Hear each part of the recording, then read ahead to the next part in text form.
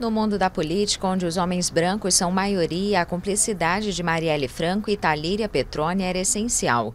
As duas vereadoras atuavam em municípios diferentes, mas eram tão parecidas e unidas que, desde que foram eleitas em 2016, ambas pelo Partido Socialismo e Liberdade, brincavam que Marielle era a Talíria do Rio e Talíria a Marielle de Niterói.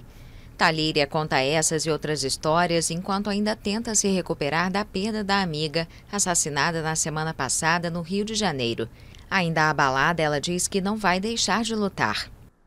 Essa indignação está me fazendo sair de casa e levantar e seguir sendo vereadora e seguir sendo defensora dos direitos humanos, seguir a força que a gente compartilhava está em mim, está em mim, não está só em mim, tá em tantas mulheres negras que estão se levantando, porque a única forma de seguir e seguir viva é seguir lutando, sabe?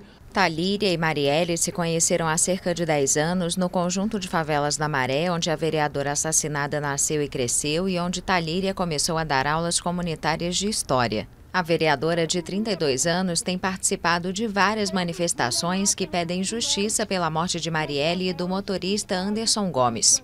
A motivação do crime ainda é desconhecida, mas Talíria não duvida que se tratou de um crime político que queria calar as reivindicações de Marielle. Mulher preta, me leva que eu vou. Matar a Marielle foi uma ousadia, foi um passo à frente da violência contra militantes dos direitos humanos.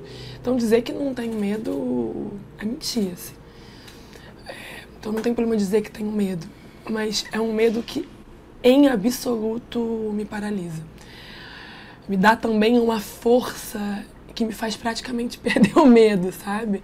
Marielle Franco defendia as mulheres negras e denunciava os abusos policiais e a intervenção federal na segurança pública do Rio. A morte dela e de Anderson estão sendo investigadas.